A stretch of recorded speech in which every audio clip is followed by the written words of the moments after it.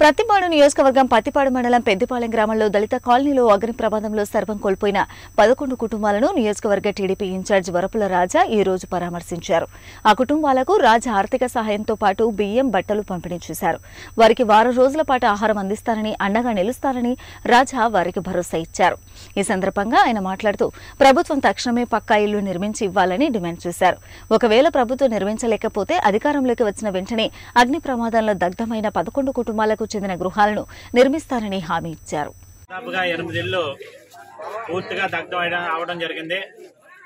మరి సంఘటన పట్ల చాలా విచారిస్తున్నాం. మరి ఇటువంటి సంఘటనలు భవిష్యత్తులో జరగకుండా ఉండాలంటే ప్రతి ఎస్సీ ప్యాట్లోని ఎస్టీ ప్యాట్లోని కూడా ఏదైతే ఇప్పుడు ఉన్నటువంటి పాకలు ఉన్నాయో మరి అట్ల స్థానంలో అన్ని చోట్ల కూడా పక్కా గృహాలు నిర్మించాలని చెప్పి కూడా ఈ సందర్భంగా డిమాండ్ చేస్తున్నాను ప్రభుత్వాన్ని. అదే విధంగా కుటుంబాలు ఈ రోజున పరిస్థితి. వాళ్ళకి ఏమాత్రం కూడా ఆధారం లేదు. వాళ్ళందరూ కూడా కూలి పనికి వెళ్తే కానీ ఆ రోజు కనీసం భోజనం కూడా లేనటువంటి పరిస్థితి. మరి ఆ ఎనిమిది గృహాల్లో కూడా దాదాపుగా పన్నెండు కుటుంబాలు ఉన్నాయి.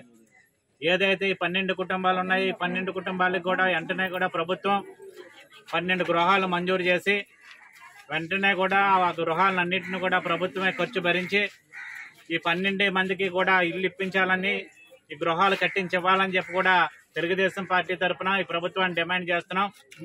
అదేవిధంగా రోజున తెలుగుదేశం తరఫున ఏదైతే కుటుంబాలు పన్నెండు కుటుంబాలు మరి ఈ రోజున అందరికి సహకరించడం జరిగింది. మరి రాబోయే వారం రోజులు మరి ప్రజలు కూడా భోజనం టిఫిన్ ఏర్పాటు అన్న తెలుగుదేశం ఆధ్వర్యంలో చెప్పి కూడా చేస్తున్నాం. ప్రభుత్వం ఇప్పటికే చాలా నిర్లక్ష్యం వహించింది. ఇది జరిగి దాదాపుగా నాలుగు గంటలు దాడుతుంది వెంటనే కూడా